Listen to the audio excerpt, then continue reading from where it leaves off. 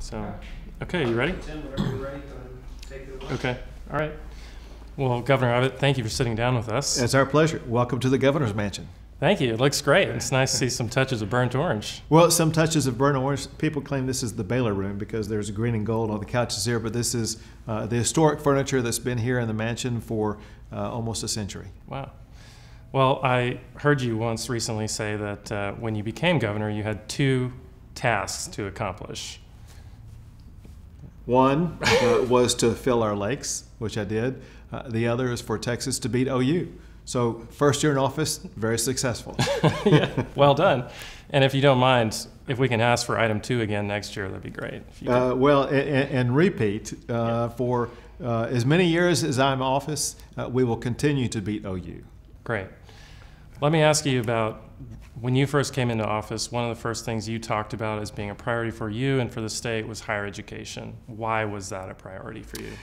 The future of the state of Texas uh, will be governed in large part by the quality of higher education.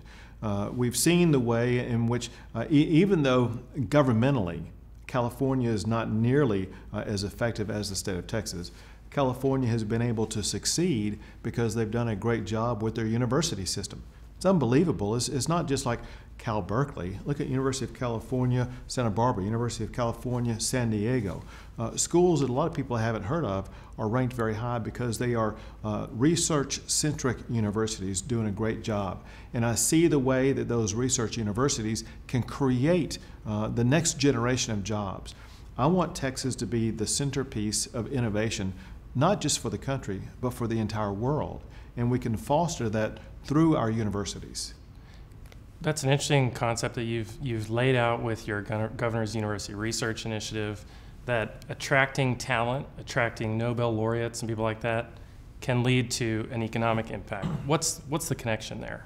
Well, we, we've seen this tangibly uh, at the University of Texas Southwestern Medical School in Dallas, uh, where they have uh, a large number of Nobel laureates as well as uh, dozens of National Academy of Science and, and Medicine award winners who were there. Uh, and we see uh, the way that they are tangibly able to turn that into uh, monetized results, uh, but as well as to bring in uh, even better researchers and, and better students. We want to replicate that model at all uh, of our universities, let's say in the University of Texas system, but really at all universities in the state of Texas. And so we set up uh, this new uh, research initiative where we, as a state, provide matching funding for all of our public universities who are able to attract a Nobel laureate or a National Academy member who may go on to be the next Nobel laureate. We want in Texas to be the home uh, of the broadest uh, sector uh, of the best and brightest minds and researchers in the United States of America, and we are willing to put our money where our mouth is. Um, and when you when you talk to administrators, when you talk to the universities, what's the feedback that, that they're saying about what that's allowing them to do? Well, they're very excited uh, because, for one, they, they see a governor uh, who is enthusiastic about what they are doing. Uh, they see uh, the possibility uh, of the vision of where they can take their universities. But I got to tell you something else that's, that's interesting, and because I made this promise. Uh, I made this promise to Greg Fenves at the University of Texas, as well as to the other presidents of the universities across the state of Texas. I said, if you find a great researcher at some other school across the country that you want to bring to Texas, count me in as helping you out. And I will personally call and talk to that person and convince them to come to the state of Texas.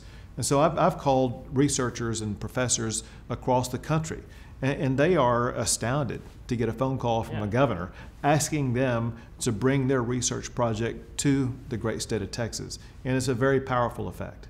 At the University of Texas at Austin, we have this mantra near scripture about the line from the Texas Constitution establish and provide for a university of the first class. In practical terms, in modern terms, what does that phrase mean to you? Well, for me, uh, it, it means something more than just of the first class. Uh, to me, uh, Texas is and should be the best state. Texas should have the best public university. Uh, I want to see uh, during my time as governor uh, for Texas universities to be the very best in the United States. Very proud of recent rankings that I've seen about the University of Texas. I've seen you know, various rankings like number seven publicly. I saw like number one with regard to petroleum engineering, number one with regard to accounting, uh, top 10 status of something like 40 programs at the University of Texas. Those are great numbers, but this is Texas, and great is not good enough. Uh, we expect to be the best. And I expect the University of Texas uh, to go to work every single day with one goal in mind, and that is what do they need to do to become number one in the nation? If you had to give the university a grade right now on that vision, 42 programs, graduate programs ranked in the top 10 nationally, what does that equate to in your mind? Is it an A? Is it a B? Well, I'll, I'll give it. Uh, I'll give it an, an, A. I mean, here, here's the deal: are, are, they making progress along the lines of what they need to do? The answer is yes. Are they there yet? The answer is no. But we're just in the early stages. It's like uh, giving a grade for where you are in the first inning of a nine-inning baseball game. Uh, we are just now getting going. And, and uh, are they developing uh, the strategies to achieve the success they need to do? The answer is yes. Uh, they're starting at a terrific position. Uh, now they just need to continue this vision. Another one of the early things that you did as governor was to appoint three regents. Two were new regents, one was a reappointment.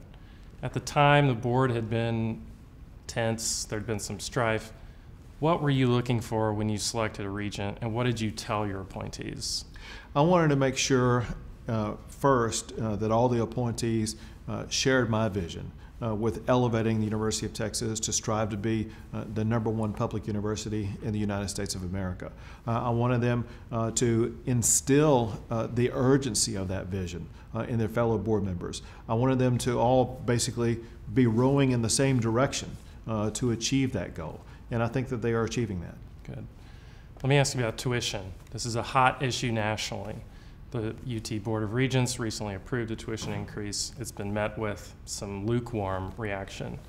You've recently stood up in a, a multiple agency task force to look at affordability. What are you hoping to learn, or what are you hoping that they can chart out for the state? We have multiple goals in higher education. We want to see more students graduate from four-year programs, or it could be uh, higher uh, programs, you know, postgraduate degrees, uh, so that we have uh, a very highly educated state. One way that we do that is by making college more affordable and more accessible. And so we're looking for uh, cost. Uh, we're looking for strategies to achieve efficiencies. Uh, and so we want to thoroughly study what's going on at the universities to find out uh, what needs to be done to make college more affordable and more accessible to more students. Is there a balance somewhere in there between two goals, a goal about access and a goal about excellence? Uh, there is a balance, and our goal is to find that balance. Okay, well said. Uh, is there anything in particular when you think about UT Austin that you'd like to see it do differently or do better? It, it the, um, obviously it is starting in such a grand position. Uh, it, it is highly regarded uh, across the entire nation, and all I want it to do is to continue to find ways uh, of elevating itself, and it has to be broad based. I mean, I, I talk to people around the country who are very impressed, and, and they bring up how great, let's say, the McCombs Business School is, or how great our engineering program is, or, or this school or, or that school. And uh, we just need to continue that. You know, as an example, one, one thing that we're seeing that I find very, very exciting uh, is now the new addition of the new medical school on campus here at the University of Texas at Austin. That is one way in which the school is just going to continue to climb that ladder of, of great uh, position uh, among rankings uh, in the universities across the country. And so uh, we, we continue to see the progress by the school. I just want to see that progress continue, but I want the school and the leaders to feel the sense of urgency that I have. Let me ask about the Dell Medical School. It opens this summer. It's taking its first class of 50 students. What do you think this school can do for the state? It's going to be huge, and, and here's why because the, the, vision is much grander than that. Uh, the, the, vision, of, of, course, is to have a medical school where we train doctors and, and uh, people in the medical profession that we need. Uh, but also, um, I want the state of Texas, and, and in particular a triangle area of which Austin is somewhat of a centerpiece, uh, to be uh, the leading region in the world uh, for life sciences innovation and, and we intend to create a large research corridor adjacent to the Dell Medical School uh, that will lead to the next generation of scientific and medical advancements. Um, let me ask you briefly about campus carry. So SB 1, which goes into effect in August, has been met with its own sensitive reaction. I think it's fair to say that faculty are not wild about it. And as someone who's as focused as you are on bringing that community up, what, what is typically your message to them? How do you help them understand why it's important or allay their concerns? I want them to look at the facts and look at reality. There, there is a concern that's been raised uh, by professors that, that if you have campus carry, a student could bring a gun into a classroom and assault a professor because of something a professor does. Here's the fact that they're missing that uh, concern exists right now. Anybody can bring a gun into any place and assault any person, anytime, anywhere. What campus carry does is it only authorizes those who go through the special training and, and background. Uh, and, and if you look at the schools across the country, University of Wisconsin, University of Oregon, University of Colorado, uh, in states where this is already allowed, they haven't had any instances whatsoever. If I could be kind of pointed about this, it's, it's kind of ironic. We know that uh, the I think it was the dean of the architecture school, right, Fritz uh, Steiner, uh, left the University of Texas uh, because of this, and he went to Philadelphia. He hasn't done any math because if you do the math, the reality is the probability of him being the victim of a gun crime just went up because he went to Philadelphia, which is far more dangerous than Austin, Texas. So all I ask is look at the probabilities, do the math, and when you study the situation, you will see there's no reason to be concerned whatsoever. The Supreme Court has heard the Fisher case twice now, and I'm curious what your opinion or your observations are about this as former Attorney General. Do you think the university has the right strategy here, the right position about considering race admissions, or do you think maybe it's time to look for a different way to, to handle this? Well, the university has been uh, focused on ensuring that they have a diverse student body. Uh, and they have, I think, achieved that, and they will continue to achieve it regardless of how the Supreme Court rules.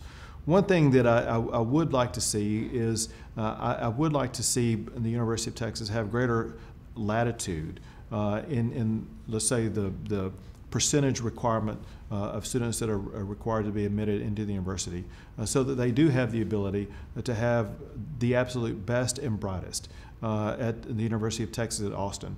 And they will, I know uh, the attitude and approach of the University of Texas, and that is they will do that uh, while at the same time ensuring uh, the diversity that is the trademark of the University of Texas at Austin. So you're saying the cap, maybe lowering the percentage of the class that exactly. automatically gets Auto, okay. the, the, automatic admissions cap. Uh, the University of Texas needs to have greater latitude. Even when they do that, uh, you, you, you'll, you'll see if, if you look back, to the diversity they had uh, before the automatic admissions uh, compared to what they have now. It's my understanding it was fairly much the same. And so we, we do have the ability uh, to ensure that we uh, will be providing high quality education uh, to students of every single background across the state of Texas, while at the same time being able to elevate the University of Texas at Austin to the very top. A couple more questions for you. Sure. I wanted to invite you, if you wanted to, speak to the University of Texas at Austin alumni community. If you had a message for them, what would you want them to know? This is a team effort. Uh, as, as the University of Texas alumni watch a football game, uh, if they think that it's one player who's going to win that game, uh, they're wrong. Uh, you have to have uh, offensive linemen, defensive linemen, defensive backs, offensive backs, coaches all working together. That's what allowed Texas to beat OU last year was a team effort. The same thing applies with regard to elevating the school as a whole. If you're sitting back in, in Houston, Texas, or South Texas, or North Texas, and think, well, it's just going to be uh, those uh, people in Austin, Texas who elevate the school, you're wrong. This is a team effort that includes the alumni, and everyone has to get involved. Everyone has to get on the same page of urging uh, all of their elected officials uh, to support this cause. Uh, and, and the way they do it uh, is not to uh, necessarily uh, focus on the University of Texas itself, but to explain how elevating the University of Texas uh, is a way of elevating the entire state of Texas. Well, you mentioned the football team, What's your opinion about UT and A&M? Should the rivalry game come back? Yes. Governor Abbott, thank you so much. My pleasure. Appreciate it. Good to visit with you. Thanks.